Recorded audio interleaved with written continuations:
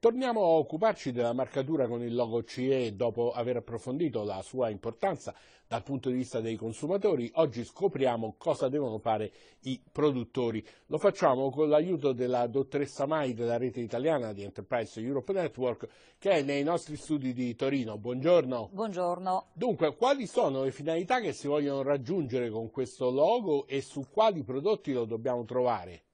La finalità del logo CE è garantire la sicurezza del prodotto sulla base dei requisiti previsti dalla normativa comunitaria. La tipologia di prodotto oggetto di marcatura CE è particolarmente vasta, non esiste un elenco alfabetico, si tratta di categorie di prodotti identificati ad esempio in base al destinatario, i bambini, o il funzionamento elettrico-elettronico. Qualche esempio, giocattoli, PC, cellulari, ma anche occhiali da vista. È necessario distinguerlo da un marchio di qualità o di origine? Sì, è assolutamente necessario. Il logo CE è un obbligo, quindi se previsto occorre metterlo, non è una scelta su base volontaria. I prodotti marcati CE possono anche provenire da paesi extra UE, quindi il logo CE garantisce la sicurezza, ma non è sinonimo di origine prodotto. Ecco, a chi spetta apporre questa marcatura? La marcatura CE è apposta dal fabbricante. Occorre prestare particolare attenzione ai requisiti grafici per la riproduzione del logo CE, onde evitare confusione con il marchio cinese China Export. Il logo CE è il passo finale, il simbolo visivo della conformità del prodotto.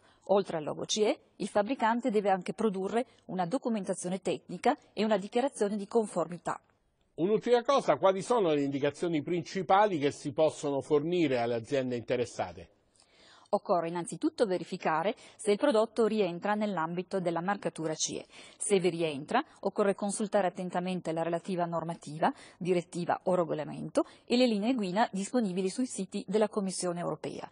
Infine, occorre valutare attentamente le tempistiche necessarie per proseguire il tutto.